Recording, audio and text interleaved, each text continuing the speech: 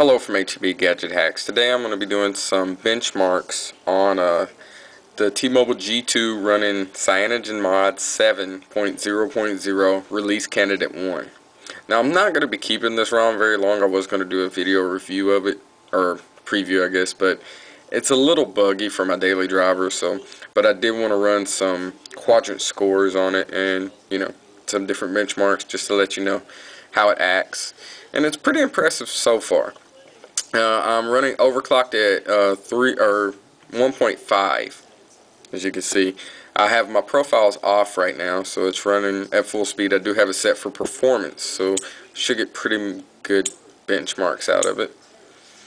So first something simple. Let's run FPS 2D the uh, frames per second app because it's very quick and just very simple. It should average about normal I just want to make sure we don't see any drop off in it.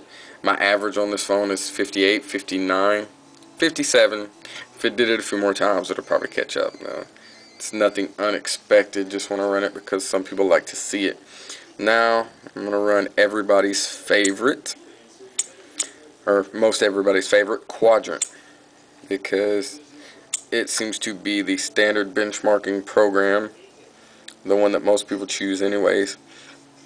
Now when I'm running um, the stock Froyo ROM overclocked to 1.2 I usually quadrant around 1800 on this phone. This is the first time I'll be running it on this ROM at 1.5 so I don't know exactly what my score will be but uh, running at 1.4 on the stock ROM I usually get 2000 to 2100 quadrant score.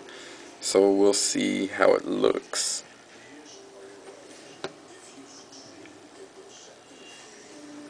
And yes, submit. Nice.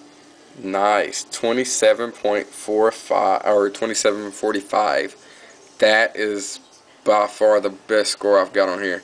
Now I know some people are running overclock kernel of 1.8, but for me that's just a bit too much for my phone. I, I appreciate my hardware too much to run it that hard.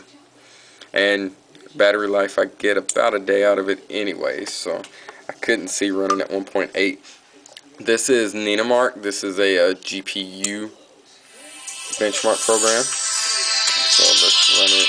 I just use the reflection. I'm in a room with bad lighting right now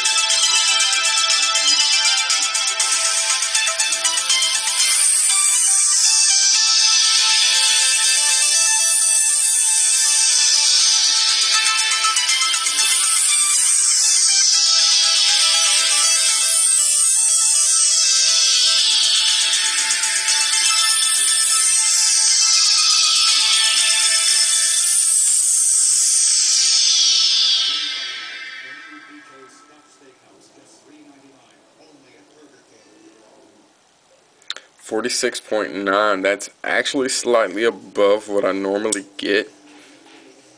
But uh, I think it's just because this is a really light ROM. Like uh, I'm really like what Cyanogen's team has done with this ROM because it seems a bit lighter than uh, the previous uh, version 6 and it's uh, actually based on Gingerbread 2.3.2 but this is the first release candidate. I'm pretty sure by the time he gets the last release candidate and the final release out that he'll probably be running 2.3.2. Let's run Linpack. Still slightly above what I normally get. I usually run about a 42. I get, and this is a very quick benchmark, so we'll run it a couple more times to get a baseline. 50.3. 51. Nice. So Linpack's quite a bit more impressive. Uh, now let's run NeoCore. It is a uh, another G. It's an Adreno uh, benchmark program. The GPU. It's made by Qualcomm, so it's their own benchmark program.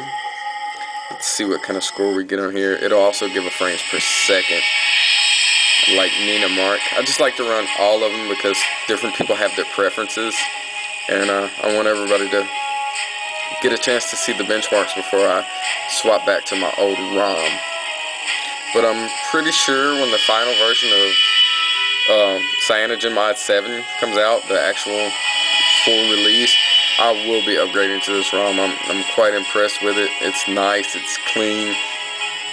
I'm just having a few small errors, some just uh, problems with it that are probably just a bad install, maybe, I don't know. 56.8, very nice. So not to talk bad about the ROM. The ROM's going to be awesome when it's finished. It's pretty nice right now. Uh, I was going to try to keep it or do an overview, but I need this phone as my daily driver, so I won't be doing a review of it just yet. Maybe on one of the later release candidates. Just wanted you to see those benchmarks, and uh, hope you enjoyed this video. Thanks.